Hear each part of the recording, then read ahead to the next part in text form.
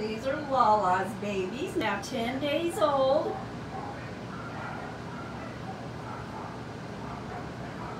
Beautiful, beautiful colors from dark red to cafe lait.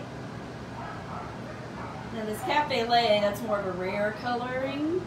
Uh, just kind of makes them look like they have a shinier coat. You can see the four with the cafe lait. There's some very dark cafe lait. So cafe lait kind of more of a chocolatey color, and the others are golden red.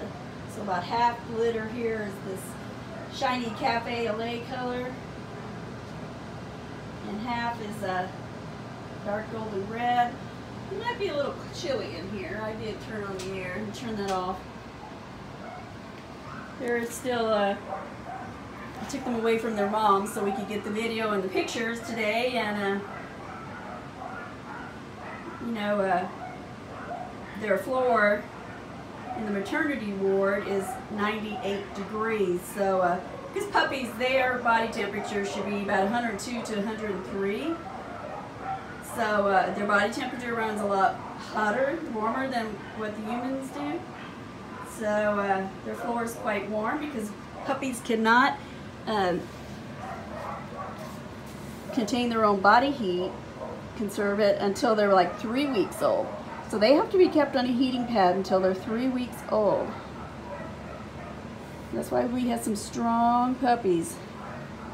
So they have to stay with mom 24-7 on that heating pad. And so mom completely takes care of them. She feeds them. She cleans them. And she's doing a good job of keeping her babies clean.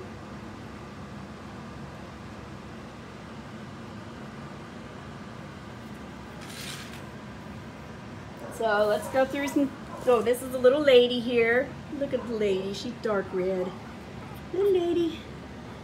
So, uh, and then this Aqua Cafe lait color. It's dark, but it's still Cafe lait. You know, it's kind of dark at the roots and then it gets this frosting on the tips. Pretty, pretty, pretty. It's in the brown family. So, uh, not many people can make that color because both sides of the family tree must have carry that gene. So uh, Lala carries it and uh, Chewbacca does. And Arnoa, that's how we've gotten this color developed.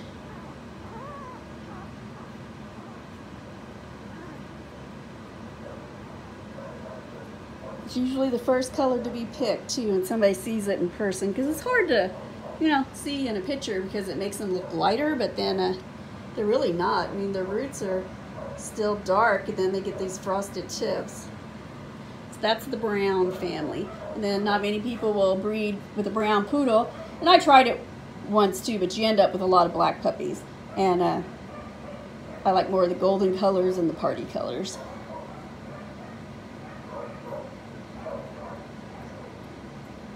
So we are lucky here to have all these because look at this very, very dark cafe lait.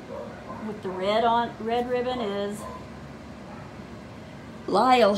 So this one's Lyle. There's Lyle. Black ribbon's Lincoln. Oh my gosh, Lincoln, look at that. 10 days old. Are those eyes peeking out yet? And this is the lime, very dark, got some curl to it. That's Lakin.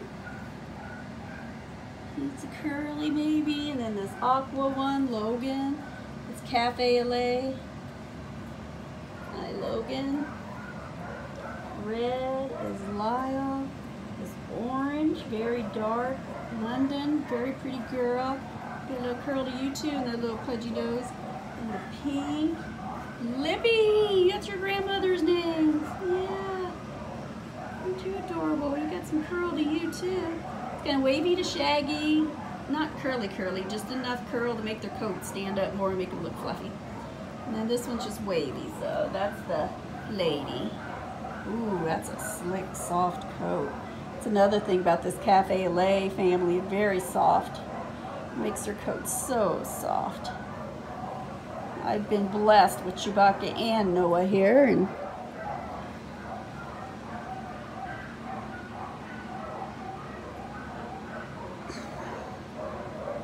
Who's this one if we didn't get to it? yellow. That's a Lottie. That's a girl. Kind of got a little curl to you too, dark red.